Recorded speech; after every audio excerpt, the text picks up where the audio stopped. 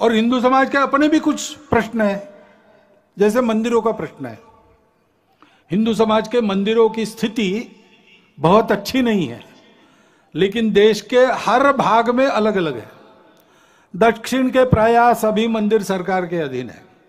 छोटे छोटे मंदिर जो स्वतंत्र है, वो उपेक्षित है।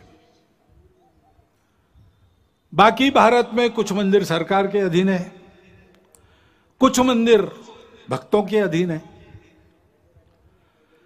सरकार के अधीन भी कुछ मंदिर बहुत अच्छे चलते हैं।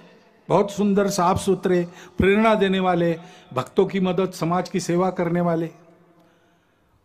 सरकार के अधीन भी है और भक्तों के अधीन भी मंदिर बहुत अच्छा चल रहे दिल्ली का झंडे वाला मंदिर है।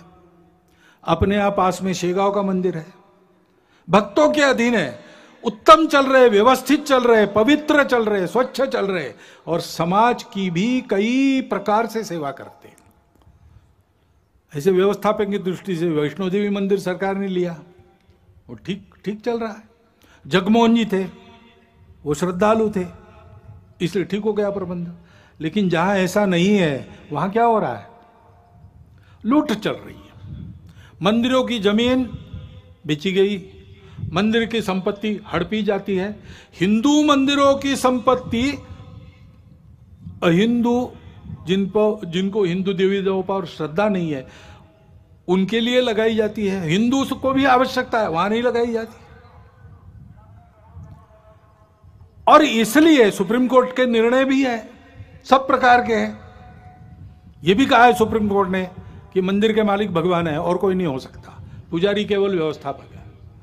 यह भी कहा है सुप्रीम कोर्ट ने कि सरकार व्यवस्था उत्पन्न करने के लिए कुछ समय तक ले सकती है। एक, दो, तीन वर्ष। उसके बाद वापस करना पड़ेगा। और इसलिए एक बार इसका निर्णय होना चाहिए ठीक से।